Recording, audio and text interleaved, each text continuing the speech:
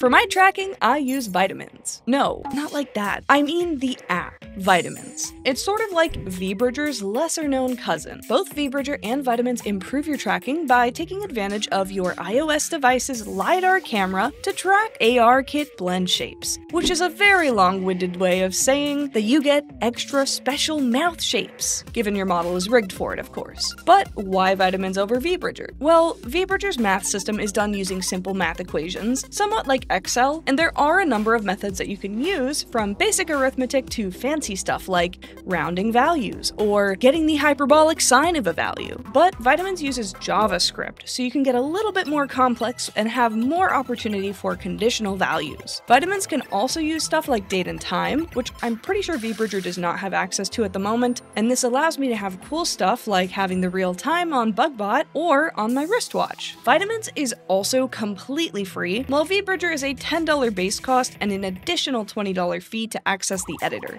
There are some downsides though. For one, Vitamins has like no support. The Discord is a ghost town. The app never gets updated, and you are at the mercy of the documentation, and that is all you get aside from the help of the few people that actually use this app. But even so, it's still my current preference for tracking.